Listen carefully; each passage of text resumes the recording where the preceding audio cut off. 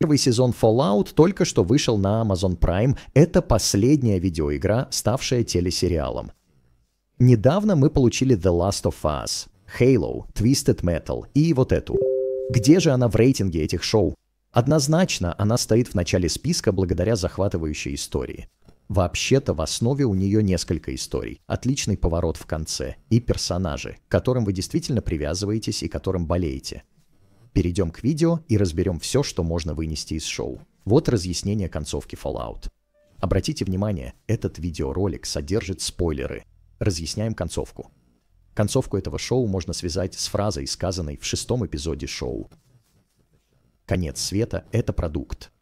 Встревоженный словами.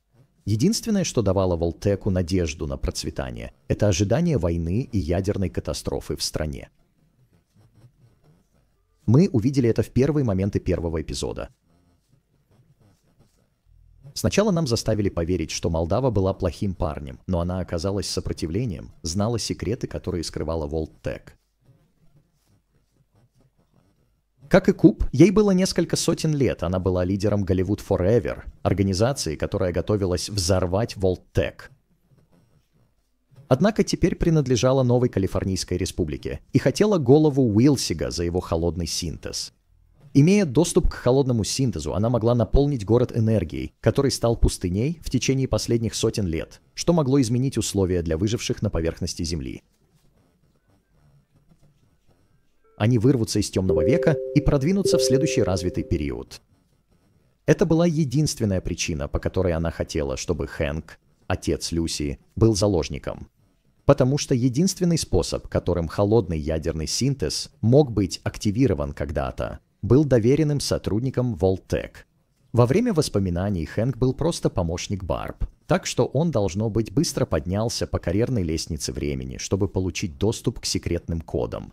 В концовке мы также узнали, что Хэнк был единственным человеком, который был ответственен за разрушения, которые были вызваны на Шейди Сенс, Роуз, жена Хэнка и мать Люси узнали правду о прошлом Хэнка и о том, что он не родился в убежище, как он говорил, и что он был связан с Волтейна, с Волтек. Поэтому после этого открытия она взяла Люси и ее брата Норма и захотела жить на Земле. Это означало, что солнце, которое, по словам Люси, она когда-то чувствовала на своей коже, когда была моложе, которое, как она думала, находилось внутри убежища, на самом деле было солнцем, палящим на нее. Роуз отказалась возвращаться в убежище. Хэнк уничтожил Шейди Сенс. Город разрушен. Все 30 тыс подверглись влиянию. Волтек имеет полное право уничтожить всех над землей, создать идеальное население, которое будут контролировать. Люси обнаружила это, обратилась против отца, осознав, что вся ее жизнь была ложью. Волтек враг. Начальные бомбы сброшены для продажи их продукта. Больше ста убежищ по стране допускают, что заинтересованные стороны могут по сути играть в бога с людьми в убежище. Поэтому убежище 4 так отличается от убежища 33, каждое из которых было экспериментом. Кроме убежища 31, где замороженные тела в важных капсулах в Волт-Теке сохраняются до безопасного всплытия – Время и управление были мощнейшее оружие, так что суметь удержать умы людей, которые планировали. Все это было жизненно важно для выживания планету, а затем превратить ее в мир, каким они хотели ее видеть. Ни одно из других убежищ не имело для них значения. Люди в них были, по сути, лабораторными крысами, и для них это было способом заработать деньги. В кульминационный момент эпизода «Куб» положил глаз на Хэнка впервые за сотни лет и задал ему вопрос о том, где находится его семья – показала нам, что Барб и Джейни на самом деле все еще были живы через 200 лет после катастрофы, которая произошла было запланировано. Это заставляет меня задаться вопросом, действительно ли Барб является тем человеком, к которому Хэнк пришел ближе к концу. Давайте вспомним, что именно ей пришла в голову идея сбросить бомбу на Штаты, создав впечатление, что им была объявлена война. Учитывая, что Хэнк прибывает в Нью-Вегас в самом конце сезона, может ли Барб быть там? Это то, что мы должны будем подождать до второго сезона. Лично я чувствую, что она могла бы. Она могла быть тем, о ком говорил Куб. Вот было бы заготовком. Путешествие Норма было искуплением и ростом. Норма был не заинтересован в убежище. Норма не был счастлив, не мотивирован перед вторжением.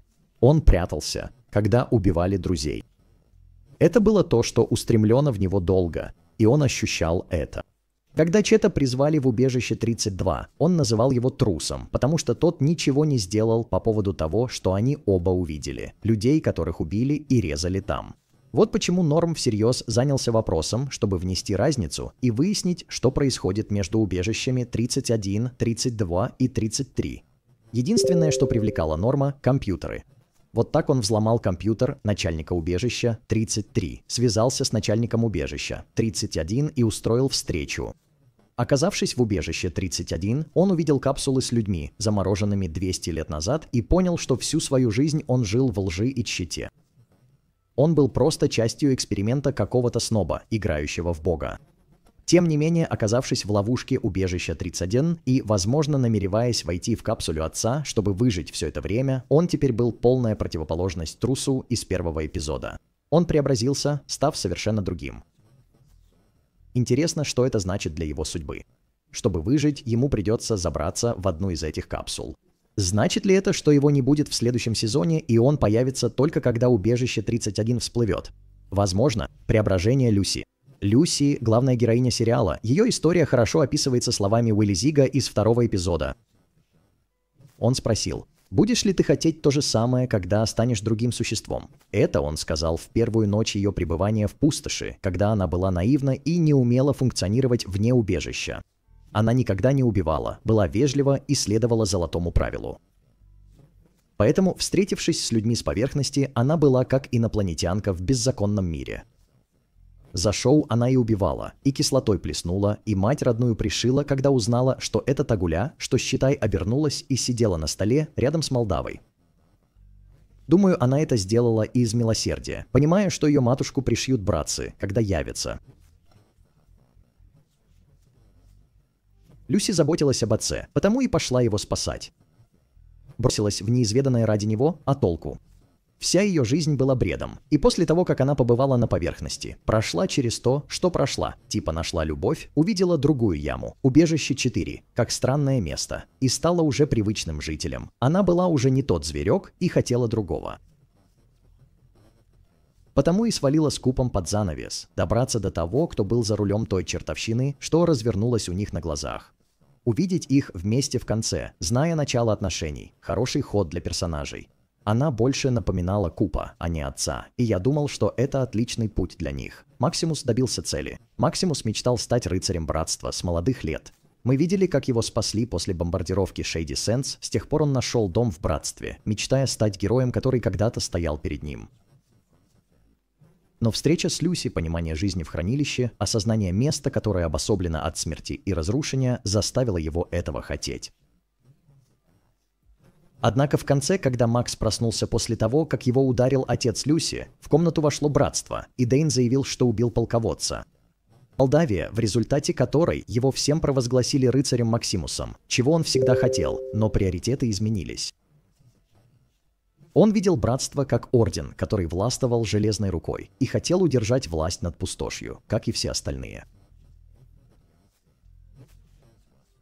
Об этом стало известно, когда Квинтус сказал, что хочет править поверхностью. Теперь у братства есть холодная фузия и возможность обеспечить городам энергию. Это то, что они предположительно будут использовать в свою пользу, и как lever для контроля над проживающими там людьми, что означает, что они держат больше власти, чем можно было предположить. Мне кажется, что первый сезон Fallout был действительно хорошим. Это удивило меня, насколько хорошо сделан. После вступления, основываясь на том, как были уронены бомбы, похоже, это что-то хорошее, это сразу привлекло меня. От визуальных эффектов до дизайна дизайна декораций, грима, сценария и подачи персонажей, он просто выполнил все, что хотел и должен был сделать, чтобы сделать. Это убедительно и захватывающе. Моим любимым персонажем в сериале, безусловно, был Куб. Мне очень нравилось ходить туда-сюда между временными периодами и наблюдать, как ухудшаются его отношения, а также видеть состояние мира в то время. Кроме того, увидев все это, мы также смогли понять, почему он вел себя так, а не иначе, и какие черты характера у него были. Он был свидетелем гибели и разрушения мира глазами и ушами человека, которого любил больше всего на свете. Его характер был таким сложным и противоречивым, и мне это в нем нравилось. Кроме того, он был абсолютным задирой, и его высокомерие было просто забавно наблюдать. Еще одна вещь, которая мне понравилась в этом шоу, это выбор песен, которые будут звучать на заднем плане. Казалось, что все они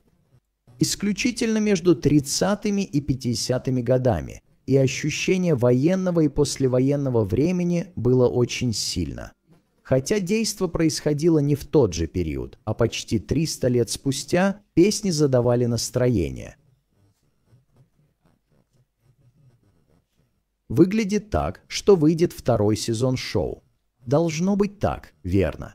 Мне кажется, что давно не было хороших восьмимисерийных шоу, выходящих одновременно. Единственное, чего бы я хотел, это выпущенные эпизоды еженедельно. Я думаю, рост ажиотажа бы пошел на пользу. Но это не то, что можно отменить. Мы просто должны ждать и смотреть, как успешно шоу пройдет, прежде чем будет подтвержден второй сезон. Так вы понимаете конец Fallout. Как всегда, спасибо за просмотр видео и до следующего.